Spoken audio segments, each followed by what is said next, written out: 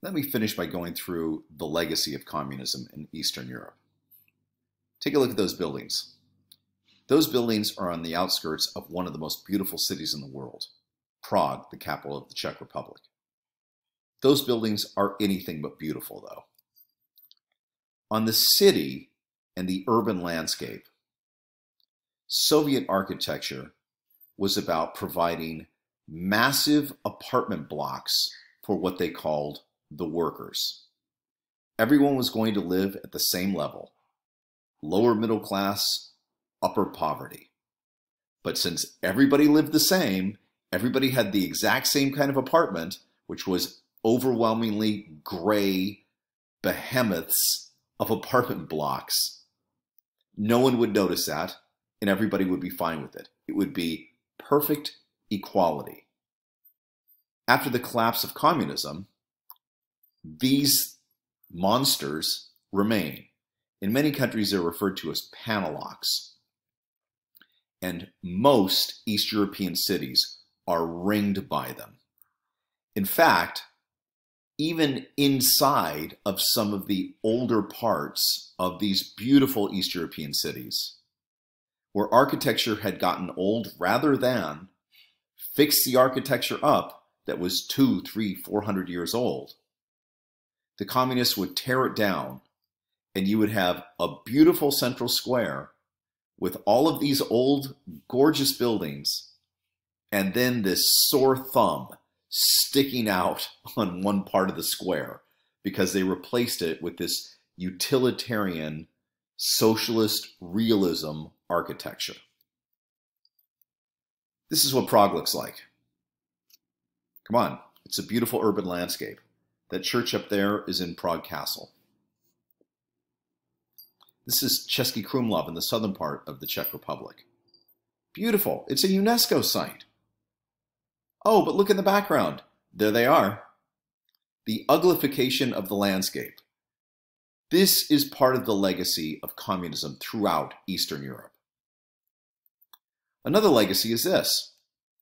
In the rural landscape, there's a lack of quality transportation. That leads to internal isolation. What you're looking at there literally is a highway. And that is not uncommon. So ask yourself, why is it that the communists would not have built quality road systems? And of course, the answer is they didn't want people moving around.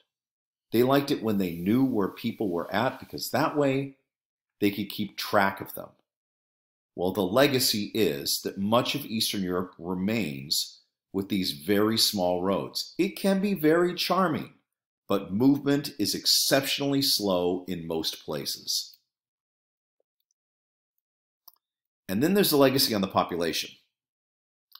Most of the people who remember it, who lived through it, are scarred by the threat of regression, going backwards towards that system, and the oppression that came from it. Remember, many people who live in Eastern Europe today spent some time in jails or prisons simply because they expressed an opinion.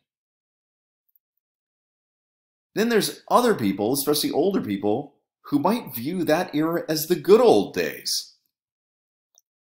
And then younger people, people who were born after 1989 or don't remember it, they don't grasp the trauma that their parents and grandparents went through, like the proverbial knock at the door. Do you know what that is? That happened in the middle of the night, maybe at your panelloch apartment, where here comes this knock. Everybody knows who that is. That's the secret police. Don't bother going out the back door. They're there too. And off you go. No one in the apartment complex, nobody in the town asks any questions, and a new family gets moved in. And where you went is anybody's guess. What you did is anybody's guess. That's the way the system was run. There's a distinct split in the population today on the view of the Russians and Vladimir Putin. Of course, at first, with the collapse of communism, everybody ran from the Russians. But now, as I said, there's a certain good old days view amongst some people And because Putin likes to flex his muscles, some people really like that show of strength. I'll tell you a couple of things that some friends of mine who are from Eastern Europe have told me they said or were told to them. I have a friend from Poland. He's told me many times when he was going to school in Poland, he came home one time after he first started taking Russian in school, which was a mandatory language. He came home with an A in Russian. His dad slapped him around and said, You get a C in Russian, and never anything more than a C. If you bring home anything more than a C, you'll get a beating for that. Another friend of mine likes to say, everywhere the Russians step, the grass doesn't grow for a decade. So it's clear that everyone does not like the Russians and Russian influence. At the same time, you see Putin motorcycle clubs riding around there with big pictures of Vladimir Putin on their leather jackets or on their t-shirts. Since the collapse of communism, here's what's happened economically. Communism in Eastern Europe was based overwhelmingly on heavy industry. But once communism collapsed, those heavy industrial factories mostly collapsed with it. Not all of it, but mostly.